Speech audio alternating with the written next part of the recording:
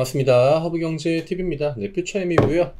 오늘 주가 1.2% 양봉입니다. 아래 꼬리로 일단 저점 이탈하는 거, 27만원 이탈하는 거 좀 막아주는 흐름이었고요. 어, 굉장히 또 중요한 이번 주 마지막 이벤트를 앞두고 있습니다. 내일은 뭐 다 아시겠지만 삼전에 잠정 실적 발표가 있고요. 반도체 종목들한테는 이제 뭐 터닝 포인트가 될 수 있는 뭐 재료 소멸이냐 아니면 한 번 더 모멘텀을 받느냐 이 정도인데 좀 최근에 반도체 종목들이 좀 강세를 연달아 가지고 보여줬기 때문에 제가 볼 때는 일단 좀 한 번 쉬는 계기가 될 확률이 높다라고 봐요. 물론 이거를 예측하는 것 자체가 크게 의미가 없긴 한데 그래도 지금 흐름만 본다라고 하면 이차전지가 발표를 하루 앞두고 어쨌든 브레이크를 대부분 다 걸어줬단 말이죠.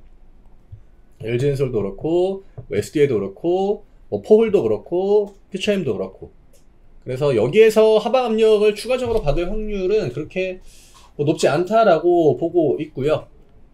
결국 29만 원과 30만 원 라인 이 위쪽으로 좀 올라와 줘야 됩니다. 지금 여기거든요.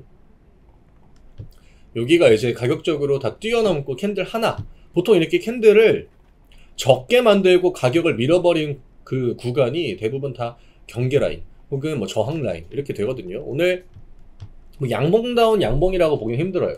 시가 대비 위로 올려준 거는 얼마 안 되기 때문에 지금 외국인들 수급으로 어, 빨간불을 좀 보여줬다. 뭐 기관 쪽에 매도가 나오긴 했지만 수량이 그렇게 타이트하진 않아요. 연기금만 14,000주 정도 매도가 나왔기 때문에 또 키움 매도고 이러면 돌려나가는 흐름 자체는 그렇게 어렵진 않거든요. 근데 요런 구간을 돌려나올 때 가장 이제 좀 짜증나는 게 뭐냐면 한 번의 시도로 올라오는 것보다는 한 번 시도하고 또 막히고 며칠 있다가 또 시도하고 막히고 이런 패턴들이거든요.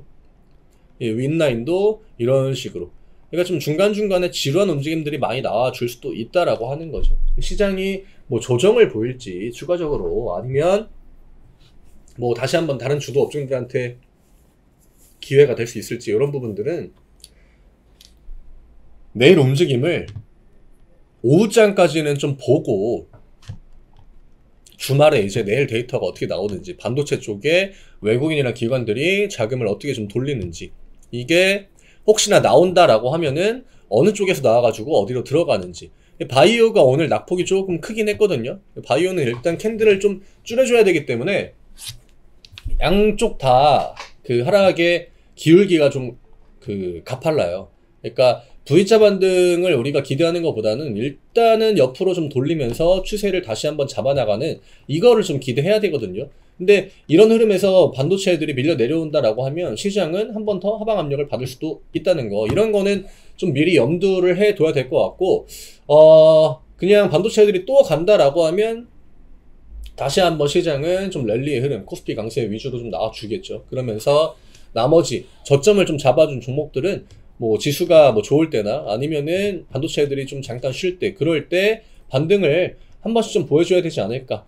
이게 호재가 좀 많이 안 나오고 있단 말이죠. 다른 업종들은. 호재가 좀 많이 부족하기 때문에 이게 최근에 뉴스 나오는 것들만 봐도 뭐 반도체 쪽에 호재가 집중된 게 맞으니까 그쪽으로만 자금이 들어갈 수밖에 없었고 뭐 여러 가지 지금 업종 후보들이 있긴 합니다만 아무래도 메인 업종들 2차전지 반도체 바이오 이거는 우리가 1년 내내 계속적으로 봐야 되는 업종들이기 때문에 내일은 반도체 포지션 따라가지고 나머지 업종들의 포지션이 달라질 수 있다는 거. 이거는 경우의 수 나눠가지고 어, 반도체가 올라갈 경우 내려갈 경우 올라가는 거는 뭐 크게 이차전지한테 그 생각할 그게 없긴 해요. 내려올 때 그때 이차전지가 지수 커버를 해주느냐 못 해주느냐 이게 굉장히 중요합니다. 그거 말고는 내일 시장에서 우리가 볼 게 딱히 없다라고 하는 거. 아래쪽에서 올라오는 업종들은 지금 포지션이 또 나쁘지 않기 때문에 걔네들은 꾸준하게 좀 봐야 될 것 같고요. 어, 피처엠, 뭐, 포스코 그룹주들 최근 대부분 다 움직임이 좋지 않았고, 저점 라인. 특히 인터내셔널은 그냥 5만원 딱 찍어줬거든요. 이 정도 가격에서는 반등을 보여줘야 돼요. 그 다음에 저점을 추가적으로 이탈할 만한 예, 그럴 시장 분위기는 아니어가지고, 피처엠도 마찬가지죠. 피처엠도 제가 이 가격을 또 찍는 거는 조금 그렇다. 저점을 어쨌든 올려주는 추세를 만들어줘야 다음 반등이 나올 때도 탄력이 조금 더 가미가 될 수 있기 때문에 27만 원은 무조건적으로 내일 뭐 어떤 패가 나오든 좀 지켜줘야 될 것 같아요. 그리고 종가는 28만 원은 사실 크게 의미가 없고요. 못해도 29만 원.